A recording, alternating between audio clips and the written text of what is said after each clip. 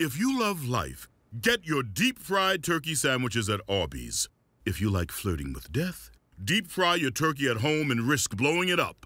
Two solid options here. Arby's, we have the meats.